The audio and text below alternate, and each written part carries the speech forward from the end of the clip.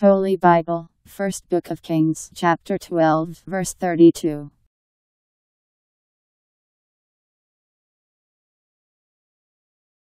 And Jeroboam gave orders for a feast in the eighth month, on the fifteenth day of the month, like the feast which is kept in Judah. And he went up to the altar, and in the same way, in Bethel, he gave offerings to the oxen which he had made, placing